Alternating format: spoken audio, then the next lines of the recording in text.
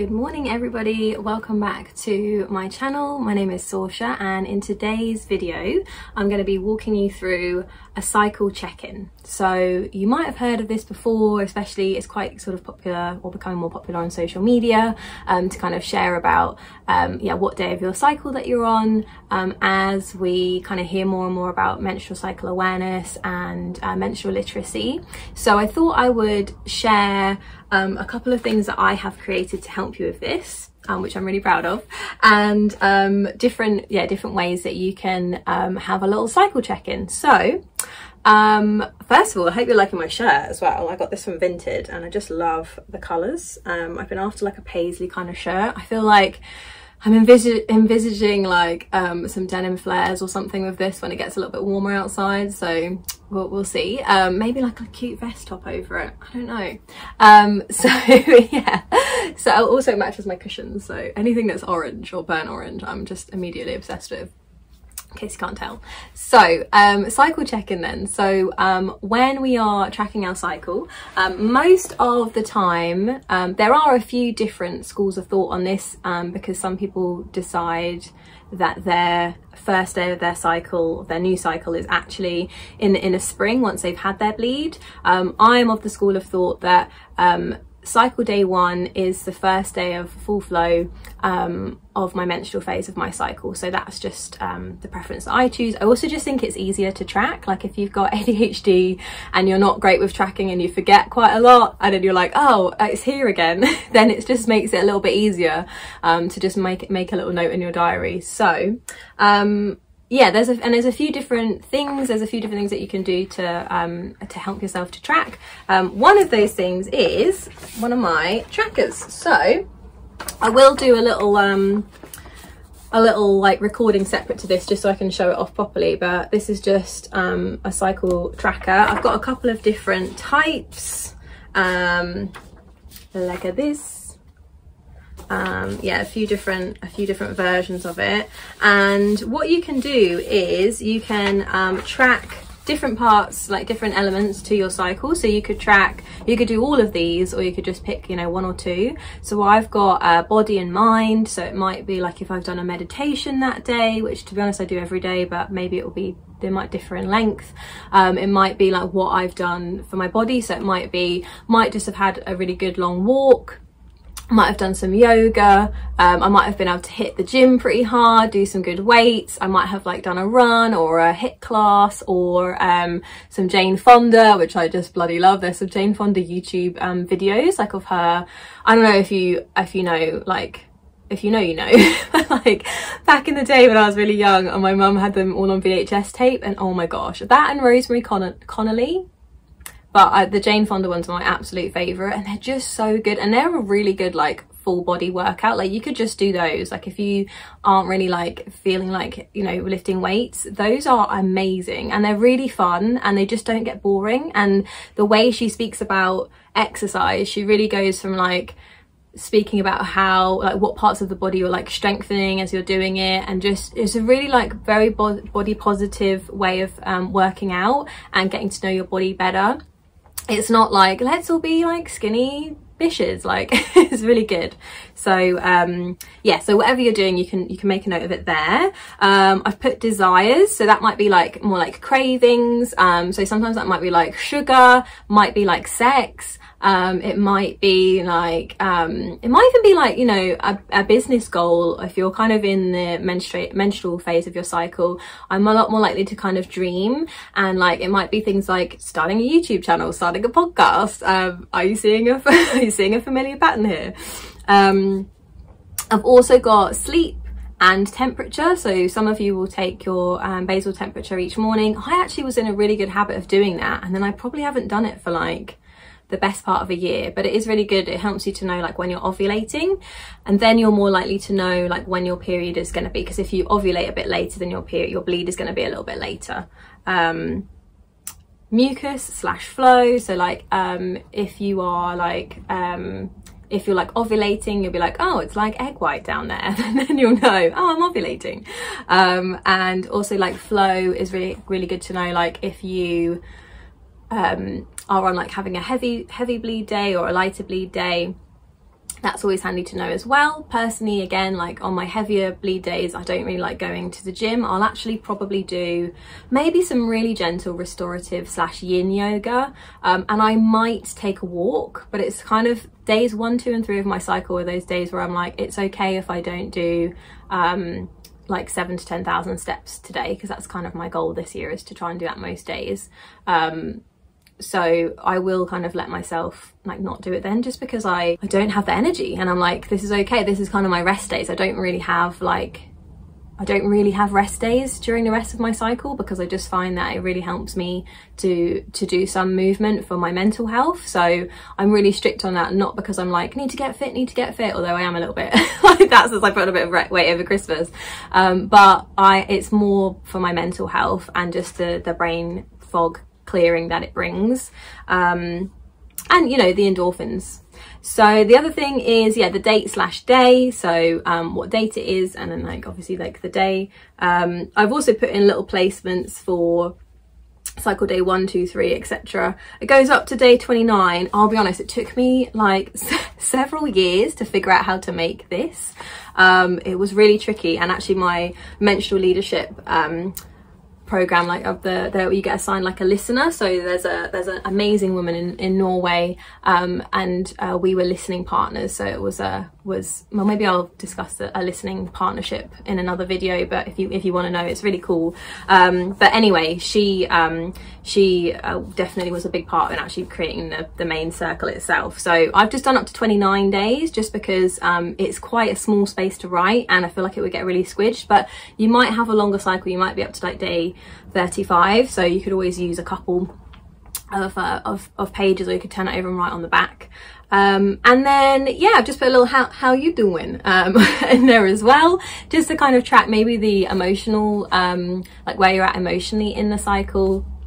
And I've also got a cycle intention, so there's a little space in the middle to write your cycle intention. I feel like um, if you want to listen to my, or go and watch my bleed on it um, video, um, which I'll try and remember to put out before this one because I'm filming them all in different orders. Um, but the bleed on it video um, will maybe give you a bit of guidance if you want to have a um, intention for that, you know, for that specific cycle. Um, and that's a really fun, intuitive way to do it. Um, so yeah, so I will do a little, um, I'll do a little like video clip on this video to just kind of show you what I'm talking about because I'm, I'm aware that like you probably can't really see all of the detail that I'm discussing here. But I didn't, for you know, for years I didn't really have um, like a, a, wheel like this. I think it's cool to do it as a wheel in my Ready Steady Chart um, free download, which I definitely recommend you get. I think I've already updated it to have these pages in there as well. But if not, I think by the time this video goes out, I'll make sure that it's got the updated version.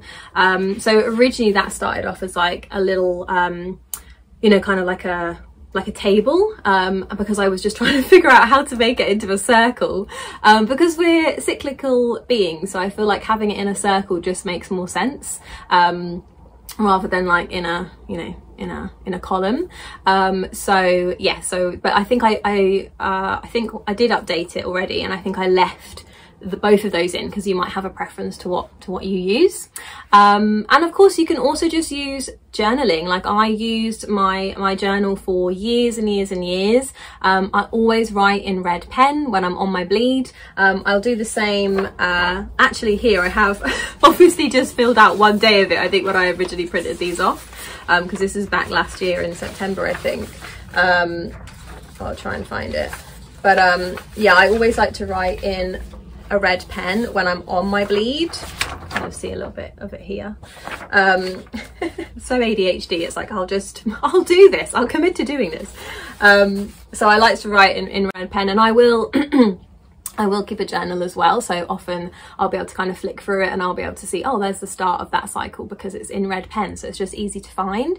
You know if I want to look and see um, what my emotional state was like last month for example what I was doing like where my mental health was maybe I'm thinking oh I feel like you know this time last cycle my mental health was a lot better. And I, and I can look back and be like oh that's because I was doing this like I was doing 30 minutes of exercise or I was using my SAD light in the morning um, and it's winter time so things like that because I'll, I'll, probably forget honestly if it's not if it's not documented I just won't remember um, and that's okay. I forgive myself for that. I give myself some grace. Uh, but if you are the same, then having that, and I really like to have it written down. Um, of course, you can do all these things, you know, on your computer. Um, but I just think for me, and it's really about like what works for you. Like if that's what works for you and it means that you're actually going to be consistent and do it, definitely like fully support doing that. For me, I, I really do like to have it, um, that hand to, yeah, hand to paper connection is really important for me. And of course, you know, when I'm ovulating, I find it really hard to sit down and journal a lot. Um, I'm just not interested. I'm much less, um, much less reflective, you know, than I am, um, than I am in like luteal phase, um, and inner winter. So, um, again, that's okay. I, I might just kind of, you know, either bullet, you could, you could bullet journal, um, or you could just write, you know, I would just write a few bullet points. And that, a lot of that is in my diary that I can see when I'm ovulating because it's just a lot shorter, you know, things that I'm writing. Uh, and that's okay as well. It's kind of part of the fun. You can just see, you know, I want to be up and doing stuff. I don't necessarily want to be sat there, you know, writing um, or trying to force myself to write. So yeah, um, so perhaps let's just do like a little example together. I won't actually fill it out at the moment, um, but I could have a little look so I could see body and mind. So today I've done um, a five minute meditation with the Headspace app. Um, I really have the urge to stretch. I haven't done any yoga yet this morning just because I'm running really late with filming. Um, and to be honest, it felt good. I had like, I read some David Goggins in my bed and I just kind of had a bit of a slower sort of start to my morning. Um, and I kind of needed that because I'm on cycle day 24. So I'm in deep inner autumn luteal phase i normally have and they do vary but they tend to be sort of a 25 day cycle. So it's friday today and i'll probably be on on sunday. So i'm just being aware of that and that's okay. So um, i may hit the gym later on today. Um, i'm not sure yet. I haven't quite decided. I'm gonna see like how how I'm feeling as the day progresses. Um, I might have like a two hour window, so I might I might pop there later on. But I do have some more things to drop off um, at the store for Vinted because um, people have bought a few more things. So I think more likely I will just have a walk down to the store. It's like a 15 minute walk there, maybe not even that. So it's kind of like, I'll probably get me out for like half an hour, you know? So I'll probably do that. Um, I will definitely have a yoga stretch. I'll probably do like a nice hip opener yoga because my hips feel really tight and my lower back has been niggling a little bit. Um, even though I did like two hours of yoga yesterday, um, and one of that was for hips and psoas. So, um, yeah, I'm feeling I'm feeling that way today. I feel a bit more like intuitive movement. Probably have a little dance party as well. Um, and yeah, probably more like that rather than like going hard at the gym. Um, boyfriend is also coming around later today, so um, I think we're going to try and do a guest pass at my gym tomorrow. So I'm sort of saving a little bit of energy for then. I know if I go hard today, um, I, I won't be able to do that tomorrow. So I'm kind of more inclined to do that. I think it'll be kind of fun bonding. Um, so yeah, and then um, what's next on my little list? So body and mind, desires. Desires are like definitely to like have a hip stretch. That's what I'm feeling. And like maybe a bit of a dance party, um, but also just to like smash out some videos. I'm really excited today to be recording. So that's like big on on them kind of in that like getting shizzle done mode um that comes with like late autumn where it's like just need to have it done. Done is better than perfect. Let's get this finished. Let's get the ball rolling. Onto the next thing um which i kind of like. It's a good it's quite a fun momentum to be in. Um sleep and temperature. I haven't taken my temperature. Full disclosure i'm not actually sure where my thermometer is. It's probably in my medicine box drawer that needs to be I need to go through that at some point, won't be today. um, so I don't know my temperature. It will probably be 36 point something, um, 36.7 I think it was for like the longest time, so probably be around there. Or 37, I think 36 point, yeah, something like that. um, mucus flow, I actually haven't checked yet, um, so I'm not sure. Um, I am also really intrigued, and I hope this isn't TMI, but we are on a you know cycle syncing channel. But I was reading about the mu the mucus the mucus plug. So like in luteal phase, you get the mucus plug, and that stops the sperm getting through. Um, and so one of I think it was Claire Baker, um, who's really great. You should definitely follow her on Instagram. She's amazing. Um, but she was talking about like noticing when the mucus plug like drops out, and then your bleed will come. I don't think I've I think maybe once I've noticed this, but I don't think I, it really registered what it was. It probably sounds disgusting, but like I think it's really cool. Um, so I'm kind of like on watch for like the mucus plug. I'm like, is that where, when is that going to come? Um, so that's, that's where I'm at if you really want to know. Um, I just think it's so cool. Our bodies are so cool. Um, date and day. Um, we're in February. Valentine's Day is next week. I want to say it's the 9th today. And cycle day 24 for me. So as I say, deep in autumn. Um, and how am I doing? I'm actually feeling pretty good. I felt really sleepy at the start when I woke up at like half seven. I did wake up very naturally and it was like to the sound of rain, which was really nice. Um, but I was like, oh man, luteal phase, boobs are a bit achy. Feet aren't actually too bad, but I think it's just because I did a nice like yoga stretch yesterday and we did a little foot massage um, as I was as I was doing it as well. So that was quite nice. Um, and yeah, actually feeling quite hopeful, quite excited for these videos. Um, and yeah, I think a little bit spacey. um, but my, my ADHD meds are like kicking in as we speak, so that's helping. And I'm just trying to make sure I stay really hydrated. Um, not massively hungry. I kind of had like some, um, some protein cereal with some protein yogurt um, rather than my usual eggs. Um, and a little bit of dark chocolate as well, which I'm eyeing up because there's some more over there for later. Um, so yeah, feeling like, yeah, feeling pretty good, pretty positive, um, a little bit spacey. Um, and I've kind of got like half a day planned, so I'm going to smash out some videos, but then I've got quite a restful like afternoon, hopefully, because I'm not very good at taking rest. So that's something that I'm practicing yet. I'm not very good yet at taking rest. Okay, so I hope that was useful for you um as i say I'll, I'll, make sure i put in some little clips on here. And um yeah perhaps i'll wait a few days until i kind of finish this video so that i can start filling in um a few of the days when my bleed comes. And then you can kind of get a good idea of, of how to fill it out. Probably do a few shorts with it as well so you can see. Um yeah. Okay. Well let me know how you um, enjoy tracking your cycle. Make sure you download my free um, little guide. It's called ready steady chart really really good uh, super cute really pretty and it's got you know some of those charting um, sheets in there as well and also just like a little bit more into like yeah um you know how you can how you can chart what you can write about. There's loads more you can do in terms of like moods. There's a little like um mood mood wheel like emotions wheel in there as well. And um it's just a really handy tool especially if you struggle if you're if you're neurospicy and you struggle to like identify emotions. I can't remember the scientific name for that but it is a, it is a thing. Um then that may help you um to yeah to recognize what that emotion is and also maybe where you store it in your body um, right, I'm going to wrap this up now. So thank you very much for joining me today. I hope you liked my 70s print uh, shirt and um, and I hope you folks have a really good rest of your day and I will see you in my next video. Thanks for tuning in. Bye.